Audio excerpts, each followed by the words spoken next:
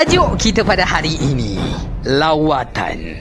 Mula-mula sekali kalau korang perasan lah Setiap kali kalau kita nak pergi lawatan tu Mesti ada je kawan-kawan kita yang datang lambat. Kalau kau datang lambat sebab mak ayah kau ada masalah apa-apa ke tak apalah Tapi kau pergi lepak dekat luar Beli makanan untuk kau naik atas bas 10 minit lambat.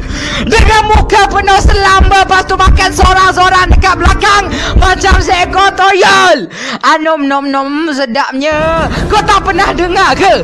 Haring is haring Tapi bukan salah kau jugalah Salah mangkuk-mangkuk ni juga.